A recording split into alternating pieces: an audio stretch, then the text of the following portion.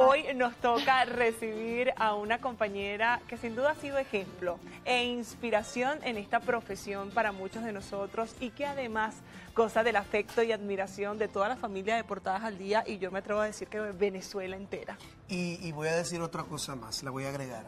Y es que yo creo que para todos los que estamos formándonos en este camino, eh, siempre queremos encontrarnos a alguien como ella, que nos brinde inspiración, que nos motive y que es un ejemplo a seguir. Bueno, ella formó parte de esta consolidación del éxito de Portadas al Día y bueno, más de una década y hoy está acompañándonos en esta nueva etapa con una sección de la cual aprendemos muchísimo, por eso siempre es una bendición recibirte, María Ángel Ruiz. Gracias, gracias Isa, gracias José Andrés. Mira, tú decías más de una década, es que son dos. Son dos décadas. Dos décadas, claro. creo. O si Sí, no, sí, estamos sí. cerca de dos décadas. 2004, Claro, 20, ¿no? casi Algo 20. así. Sí, es bueno, cierto. yo me estrené en un estudio de portadas cuando tenía, eh, eh, a ver, fue el año creo, 2004, el 6 de abril del 2004. Y estamos en 2024. Y siento mucha admiración. Mira cómo está. Ay, hay imágenes, qué belleza. Ah, estábamos chiquitos todos. Esas son las imágenes de los comienzos de portadas. Y, y bueno, para todos fue una gran escuela. Yo creo que el paso por portadas o por un programa en vivo que es diario enseña muchísimo, enseña a resolver, enseña también a que no te tienes que quedar nada más que con la información que te que los productores hacen para ti, para Claro. prepararte, enseña que tienes que ir más allá con mucha curiosidad para enriquecer tus propias intervenciones y también enriquecer ese paso por el invitado o ese instante en el que tú compartes con el invitado que tienes ahí. Entonces, uno lo va aprendiendo sobre la marcha. Al principio, por supuesto, mis metidas de pata eran diarias. pero, pero vas aprendiendo a soltarte. Yo, de naturaleza, eh, soy introvertida. Y creo que el, el camino por los medios de comunicación me fueron obligando de una manera sutil y bonita a ir soltándome. Y bonito. bueno, y le agradezco mucho a Benevisión que hizo mi carrera prácticamente. Eh, sí, exacto. Hicieron mi carrera desde el Miss Venezuela hasta, hasta hoy, pues. Eh, y fueron tantas vivencias en portadas. Yo viajé a Sari ahorita cuando llegué y la saludé con su barriguita y recordé que yo tuve mi barriguita desde el, desde el día cero hasta casi el final aquí en portadas haciendo todos los días mi programa en vivo. O sea, mi hija creció aquí, tanto en la barriga como después de nacida. Porque en mi camerino. momentos, Sí, claro, en mi camerino, después yo convertí ese camerino en un cuarto de bebé. Y yo tenía qué ahí lindo. el corral de Victoria, jugueticos, no sé qué, y mi espacio para vestirme.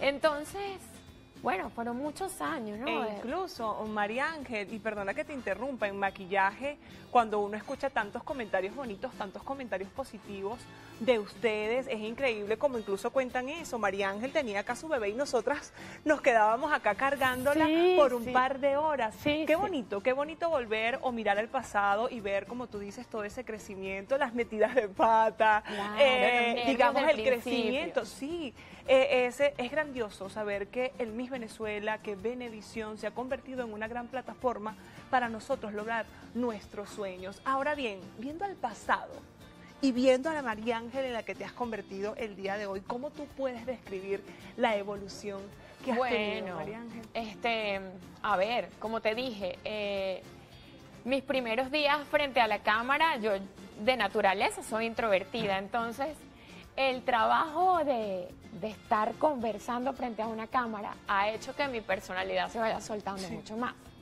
Eh, también el compartir con personas que, a ver, eran personas que admirábamos todos y que teníamos la oportunidad de tener aquí sentados en este o en el otro estudio cuando hacíamos el otro. Eh, artistas internacionales a quienes admirábamos mucho. Y entonces, para quien está comenzando, es un reto grande, ¿no? Sí. Dar la talla en una entrevista. Claro. No sentarte ahí a, a rellenar una conversación, sino que lo que yo pregunte a esa persona lo haga sentir bien y que además yo conozco lo que, lo que esta persona ha hecho en su carrera. No importa que tú tengas 20 y él tenga 30 años de carrera y tú 20 años de existencia.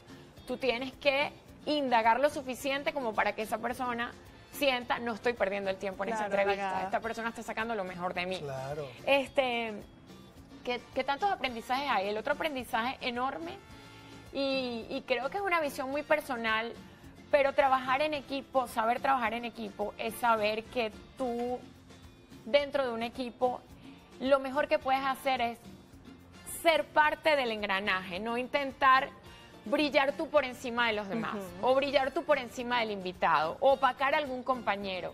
Porque eso sí puede hacerte lucir unos segundos, un ratico más, pero eso no optimiza el trabajo en equipo. Claro. y eso no hace que el resultado final sea todo lo sólido que tiene que ser. Entonces, para mí siempre fue muy importante trabajar en equipo, respetar eh, los tiempos y los turnos de cada compañero, eh, no intentar llamar la atención por llamar la atención, porque creo que siempre el invitado es el protagonista. Claro que sí. ¿Qué otra cosa aprendí dentro de, dentro de estos años?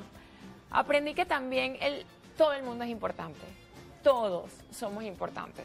No el que está frente a la cámara, el que está detrás, el que se ocupa de trabajos que tú ni te imaginas viendo en la casa que hay que hacer aquí. Todo es importante y crear un ambiente o tener, mantener un ambiente siempre de armonía es lo mejor para que un programa funcione y ha funcionado. Mira, tiene, a ver, estamos celebrando el aniversario de Portadas al Día, que es como una reestructuración y tiene un año, pero el formato tiene 20, ha funcionado. Entonces creo que las bases sólidas de quienes fueron sus productores desde el principio, Di Valerio, Joaquín Riviero, o sea, todo eso quedó ahí. Cuando un proyecto tiene los objetivos claros y la misión clara, puede durar muchísimos años.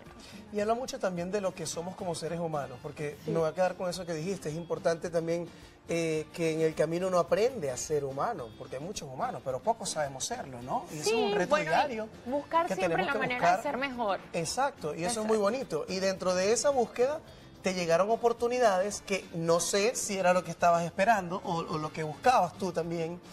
Por ejemplo, en la actuación, porque recuerdo que estando en Portadas al Día, sí, llegó eh, una telenovela de la que eres protagonista. Mira, y que- tenías a toda Venezuela. Incluso yo recuerdo que hubo un programa especial donde eh, tenías como que despedirte por un tiempo de las pantallas eh, en las mañanas. Claro. Porque tenías que entregarte a este proyecto. ¿Tú estabas buscando eso? Bueno. ¿Era algo que esperabas? Llegó un momento en el que yo sentí que sí quería atreverme a hacer otras cosas, pero no las busqué. Lo que sí es que me enteré de que había un casting para la, protagonización de La Viuda Joven y que habían pasado varias actrices por ese casting. Yo estaba trabajando para portadas en la premier de una telenovela. Estaba entrevistando a los actores.